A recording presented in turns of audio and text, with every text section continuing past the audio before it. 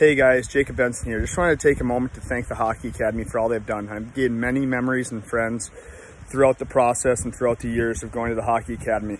It's a great place to go to develop your skill, develop your character, and develop anything else you need because the staff there has been so great to me and I can't thank them, thank them enough.